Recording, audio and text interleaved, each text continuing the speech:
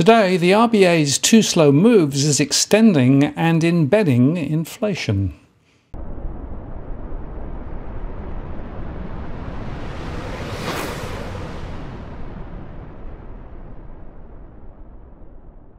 Hello again, it's Martin North from Digital Finance Analytics. Welcome to this post covering finance and prop news with a distinctively Australian flavour. Well, the Reserve Bank has released its November statement on monetary policy, and it's upgraded its underlying inflation forecast almost all the way through to December 2024 as businesses pass through high energy prices and flooding on the east coast of Australia puts upward pressure on grocery prices. The bank's preferred underlying measure of inflation, the trimmed mean, is now forecast to peak at 6.5% in December 2022. That's up from 6% just three months ago, before falling to 3.75% in December 2023. Remember that the trimmed mean is a statistical adjustment that minimizes extreme price movements at both ends of the inflation distribution spectrum.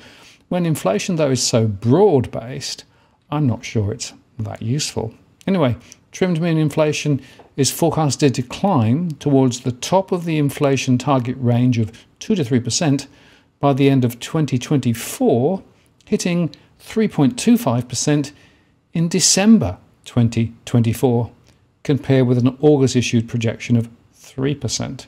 So they're just trying to squeeze it in under the band right out at the end of their forecast In the overview section of the statement, that does not provide really any further insights into the decision processes at the November board meeting. But it does reiterate the points that interest rates have already been increased significantly in a short period of time, that the effect is yet to be seen, that slowing the pace of tightening would allow more time to assess that, that drawing out policy adjustments also helps to keep public attention focused for a longer period on the board's resolve, and that the more frequent meeting schedule allows for smaller incremental changes. But I have to say, it also means that they can perhaps muddle through a bit longer. It doesn't necessarily address the root cause issues. Going forward, of course, they say all options are on the table, including moving to larger steps if necessary, or even pausing for a period. The emphasis clearly being that policy is not on a preset path. But the revised forecasts for growth, unemployment, and inflation are frankly worrying, as it seems to suggest the RBA is actually being too timid compared with its peers, leading to higher inflation for longer and no path back to lower interest rates in the forecast period. Forecasts are actually provided out to December 2024. Due to the surprise lift in inflation in the September quarter inflation report, the bank has raised its forecast for headline inflation in 2022 from 7.8% in the August Statement of Monetary Policy to 8%. The forecast for inflation in 2023 has been lifted from 4.3% to 4.7%, while 2024 has been lifted from 3% to 3.2%. This means that the bank is now forecasting inflation in 2023 to be much nearer 5% than the 4% that we saw back in August, while it is clearly making the statement that it expects inflation will remain outside the 2 to 3% target range for the three years. Now, it's very rare for the RBA's out year inflation forecast to be so far above its target range. In fact, the only other instance being when the major tax changes were set to boost the CPI, the carbon tax in 2011, and the GST in 2000. It's also worth comparing the RBA's forecast with those of its central bank peers. The 4.7% for 2023 is well above the RBA's 2 to 3% target. And while central banks and other developed economies are also expecting to miss their targets in 2023, they're actually plotting a clearer return to target in 2024.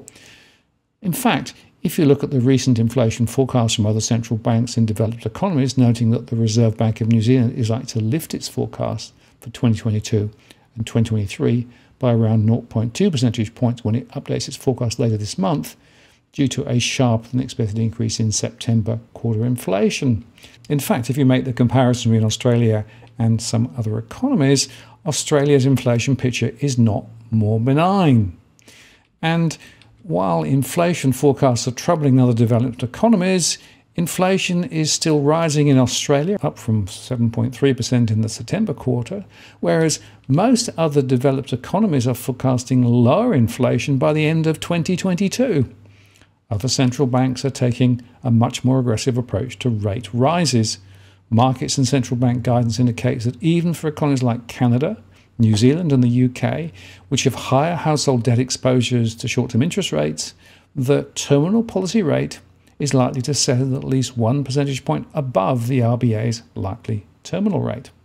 The inflation forecasts for 2024 are particularly interesting. Canada is at 2%, New Zealand at 2.2%, the UK at 1.4%, and the US at 2.3%.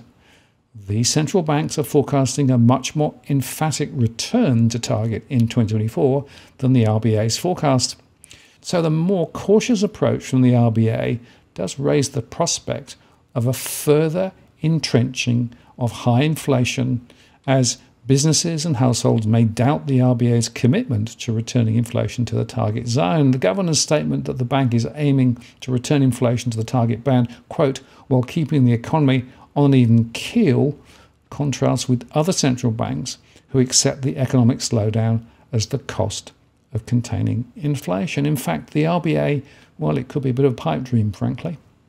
These forecasts are based on a path for the cash rate broadly in line with expectations derived from surveys of professional economists and financial market pricing, most likely actually a straight arithmetic average. Exchange rates and oil prices are also assumed to be unchanged through the forecast period. Now, this approach to cash rate assumptions can lead to some tensions. The forecasts are based on what the market and analysts expect for the policy instrument rather than what the bank expects it needs to do. The risk with such an approach is that the bank's forecasts are consistent with market pricing but may not be consistent with the bank's own objectives. There is some evidence of this conundrum in the revised inflation outlook. Psychologically, a near 5% forecast rise for 2023 may lift expectations for both businesses and households, particularly with wage negotiations that are currently taking place. And negotiations may also be influenced by further progress in the proposed changes, which the government is now close to legislating that would allow for industry wide bargaining. The bank's growth forecasts are more in line with the likely economic cost of containing inflation, and the forecast growth rates have been lowered from the August numbers, particularly for 2023. Growth is now forecast at 2.9% in 2022.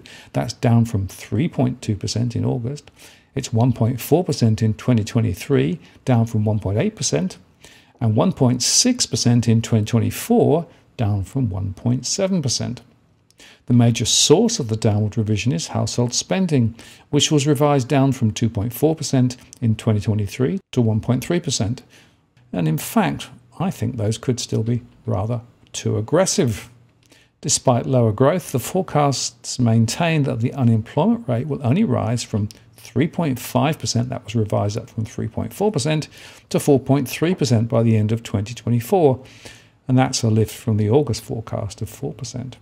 With slower growth in 2023, though, it's likely that the unemployment rate will go higher, maybe above 5% by the end of 2024 and forecast wages growth in 2023 has been lifted from 3.6% to 3.9%, reflecting the tight labour markets, which are likely to persist through 2023. In fact, the share of jobs that received a wage increase over the past year has increased, they said, to around 80%, and that's the highest level since 2012.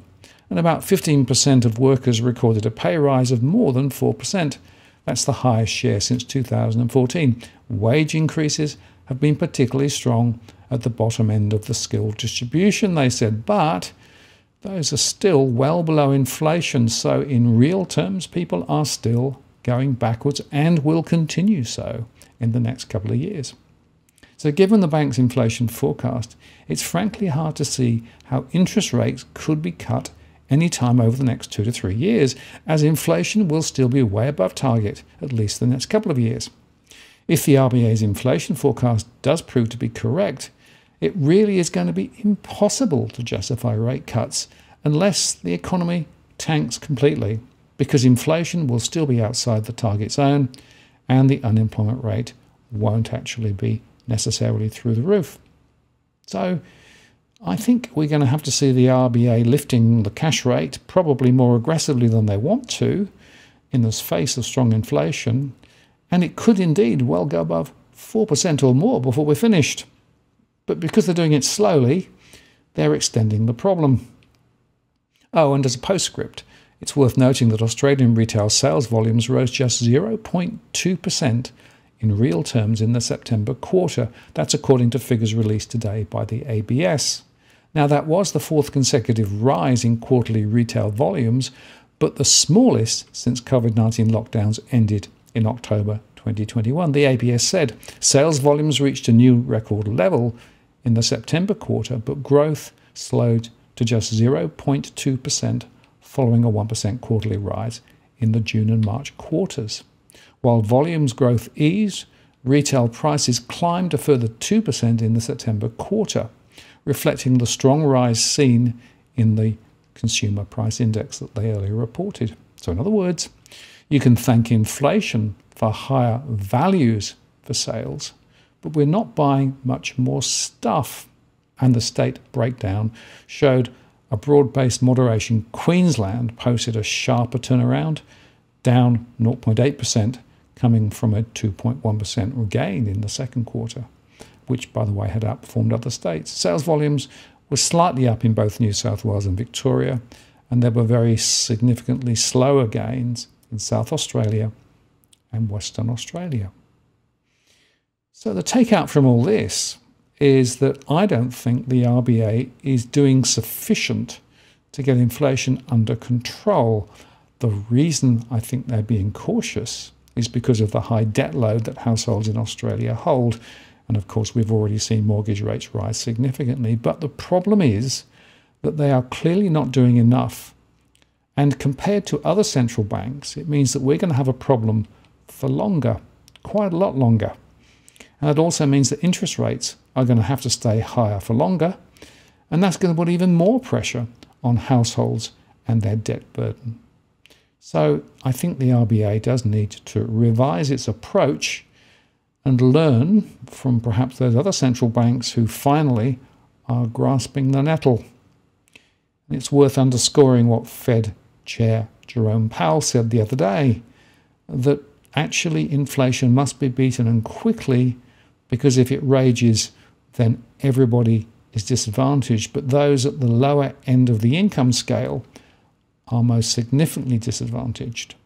The bottom line is that the RBA's approach is actually putting a whole lot more pressure on a segment of society, and it's going on for a lot longer. It's not appropriate. It's not correctly calibrated. I'm Martin North from Digital Finance Analytics. Many thanks for watching, and I'll see you again next time.